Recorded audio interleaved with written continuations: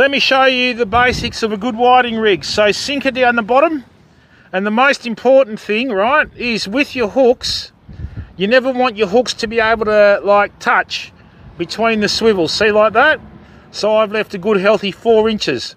What this allows me to do, it allows me to fish with a slightly longer leader because if your leader's too close to the main line, the fish won't bite, okay?